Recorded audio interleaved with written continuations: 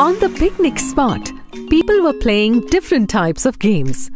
Some kids were singing songs, and some others were playing Catch the Thief, and many kids were just sitting on the mat and chatting with each other. Pushpa and Pankaj were playing catch catch with a ball. While playing, the ball slipped from Pushpa's hand and falls on a rose plant. Oh, Pushpa, check whether the plant is fine or broken. Let's check. No, no, the plant is fine. Look, Pankaj, there are many flower plants here other than the rose. These are good examples of herbs and shrubs. Right then, father comes in the scene. Nice, Pushpa. Do you know that the rose plant is a shrub? I also know this that we were taught yesterday only that there are four types of plants. Really? Tell which are those? Herbs, shrubs, trees, and vines. Vines are also of two types. Creepers and climbers. Dad, I was about to tell this. Okay, okay, Pankaj, let's do one thing. You explain some types of plants and I will explain the rest. This way, both of us can understand and remember it. Done. I will start with the herbs. Look at these small plants which have thin and soft stems are called herbs. Coriander, mint, radish, carrot, beetroot, rice and mustard are some examples of herbs. Very good. I will tell you something funny.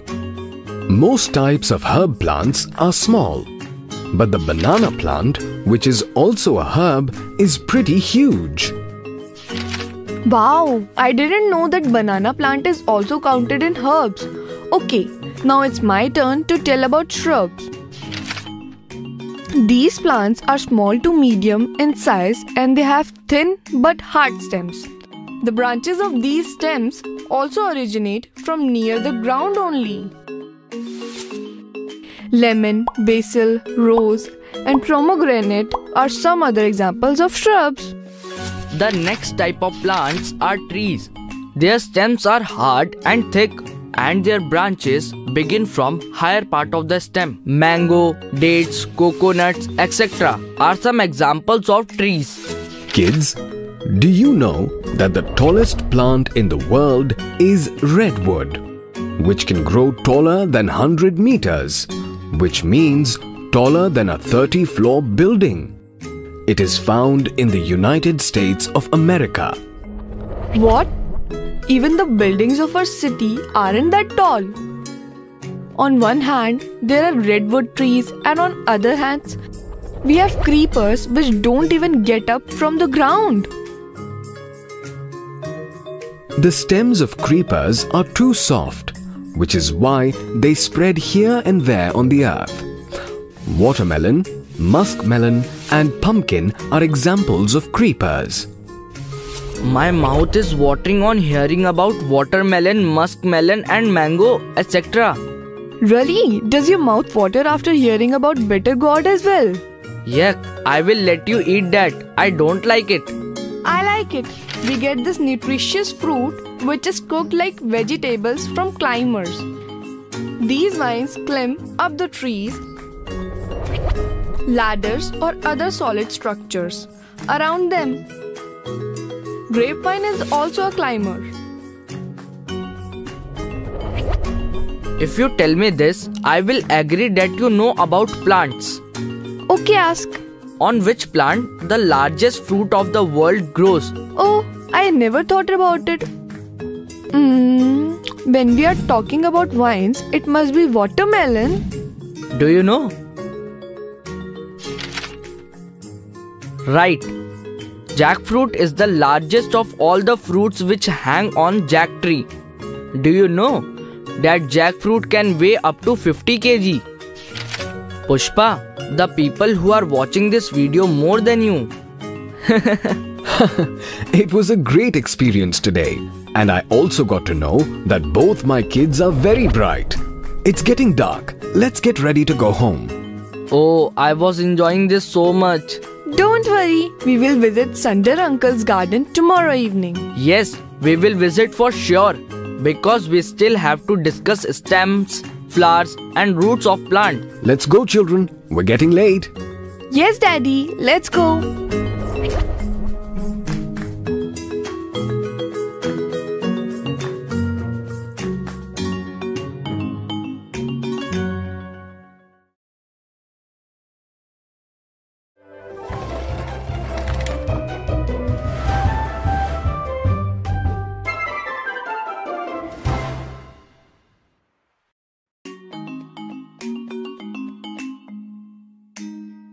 After discussing the types of plants on picnic yesterday, today Pushpa and Pankaj meet in Sundar Uncle's garden in the evening.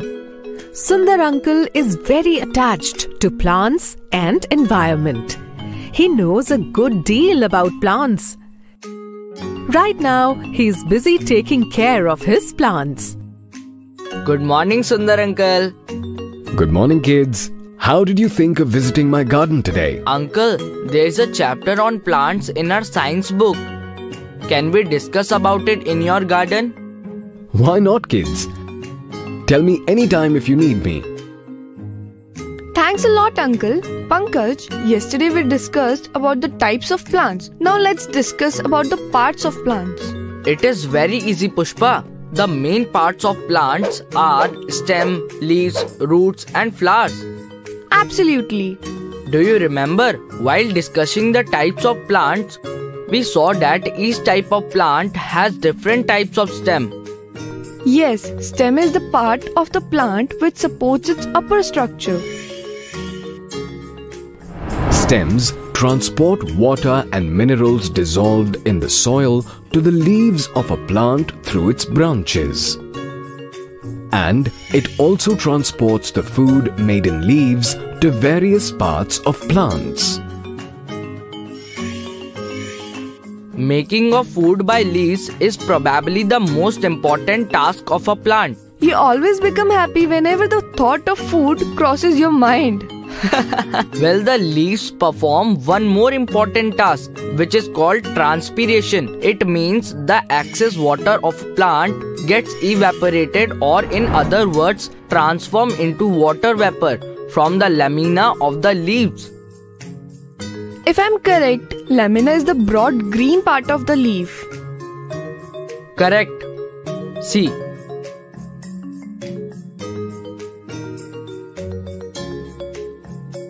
this hard line in the middle of the leaf it is called midrib and the other lines surrounding the midrib are called veins of the leaf the design made by veins in a leaf is called the reticular leaf venation The structure of the water distribution system in our houses is also the same. The main pipe, which comes from the water tank, is the widest pipe. It distributes water through thinner pipes to washroom, kitchen, and basin, etc. Just like these plants also distribute water and food to and from leaves. Sundar Uncle, who was listening to them from some distance, comes and helps them. The way both of you think is wonderful. Let me also tell you something. Have a look at these. Grass leaves. These are different from other leaves. These are thin but longer. Their leaf venation is parallel. oh we had not thought of it at all uncle do you know anything more interesting about it Wait a minute. Sundar Uncle uproots a grass plant carefully with its roots. He does the same with a plant whose leaves have reticular leaf venation.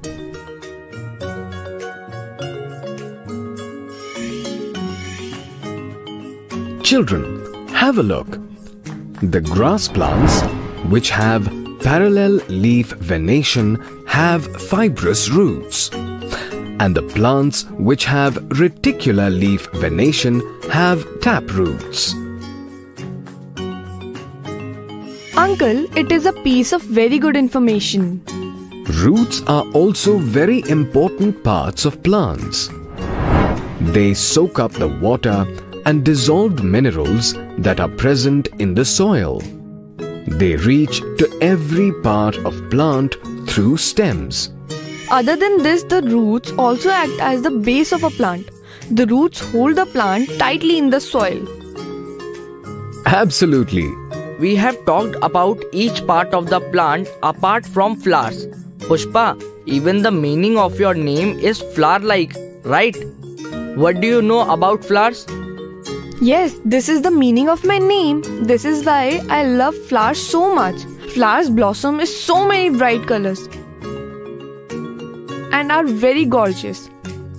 They smell so nice as well. Yes, it's because their smell and bright colors attract insects like bees and butterflies. The insects eat the pollen of flowers. From the nectar of flowers, bees make honey as well. Yeah, honey is so tasty. Even I have also become hungry now. Let's eat some fruits together. Yes, I am feeling hungry since rats are jumping in my stomach. Well done, children. As you have discussed parts of plants in such a nice manner, you must get a treat of fruits. Come with me. I will give you fresh and tasty fruits from my garden.